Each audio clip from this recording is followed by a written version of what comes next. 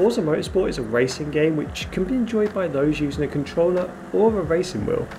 And while the game does feel pretty good using both of these methods using the default settings, there are some key settings which you can change to actually improve the feel of your car while using a controller. And in this video, I'm going to run through the best controller settings, the best advanced controller settings in Forza Motorsport. The main reason on why you'd actually change your controller settings in Forza is to give you a more comfortable experience. Adjusting your button mapping can make certain tasks such as shifting gears manually with a clutch enabled much easier. And then adjusting your advanced controller settings, such as your dead zones, can remove any unwanted effects such as your car drifting to one side or the other. And then you can even make your inputs feel more responsive and accurate. Now before I jump into my recommended settings, I would always recommend you heading out on track before actually changing anything. This will give you a feel for how the driver feels at its default settings, what the developers intended, and then from there you can identify any areas which don't feel quite optimized or if there are any issues you may be having. Then I'd recommend using the settings that I've recommended here to see how much of a difference they make. You can then finally adjust them to create your kind of final settings based on your own feeling and your own personal preference. At the end of the day, neither the default controller settings nor my recommended settings will be perfect for everyone. Everybody has their own preference and should adjust the settings to give you the perfect experience. Now, the main controller options allow you to change certain aspects, such as your button configuration. You can opt for one of the preset controller layouts or customize your own. Now, you can scroll down this list of inputs and adjust any of the button configurations as required. One of the key things I'd recommend changing with your controller options would be to swap your handbrake and clutch buttons. Mapping your clutch to the A button, downshift to X and upshift to B is my preference, as this lets me easily lean across the clutch button with my thumb whilst pressing either the downshift or upshift button. And this results in almost perfect manual shifts with a clutch every time. Now the advanced controller options is where the meat of the settings lie and these give you much more control over individual areas over how your controller behaves. You can adjust every part of your controller input to change how the triggers and certain inputs behave without affecting other areas. Now every input, including the steering, acceleration, deceleration, etc., all have an inside and outside dead zone setting. These dead zones can be used to combat any input being accidentally applied while say resting your finger on a trigger, or they can be used to make an input more or less sensitive. Now I want to quickly touch on what the dead zone actually does for all of these settings before I jump into the specific settings I'm using. Now a dead zone for any input has both inside and outside value which can be changed independently. Think of this as a scale from 0 to 100. The minimum value represents how much input you need to apply to a trigger before anything is actually registered in game, and then the maximum value sets the maximum amount of input required to reach full in-game input. Leaving your dead zone at zero on the inside means that any slight touch of your trigger will register an input in game. Now this is ideal if you want your triggers to be responsive, however if you rest a finger on a trigger, the weight of your finger may accidentally register a small amount of input. To combat this you can raise the inside dead zone to around 5% and this will eliminate any input from the first 5% of trigger movement.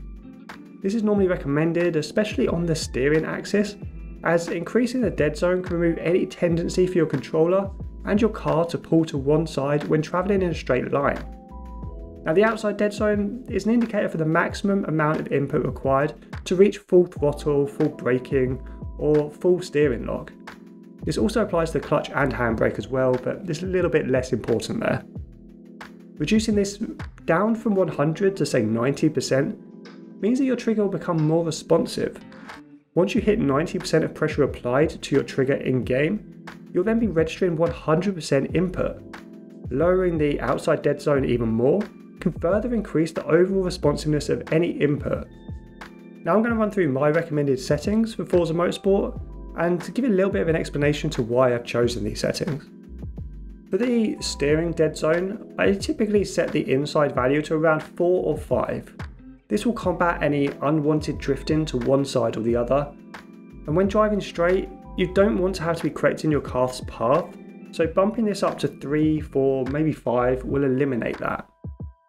I then set the outside steering dead zone to around 95%. This means I can reach full steering lock a little quicker and easier compared to setting it to 100%. Also, if you have a tendency to push your analog stick ever so slightly up or down while applying full directional input, it may not re necessarily register 100% in-game input. So lowering this setting to around 90-95% will ensure you're always reaching full steering lock even if your directional input is ever so slightly off. For the acceleration settings, I generally leave the inside dead zone to 0%. This means that as soon as I touch the throttle trigger, I'll start applying the throttle in game. This helps get the power down quickly and easily, and it also keeps the widest throttle range. You can increase the inside dead zone if you don't want your throttle to feel quite as sensitive, but what this does do is it narrows the window between minimum and maximum values. And this will make the throttle a touch harder to control if you're modulating pressure, especially if you're racing without traction control enabled. For the outside dead zone, I want it close to 100% to keep the input range as wide as possible. I do however lower it to around say 98% just to ensure that I'm always applying full throttle when I want to.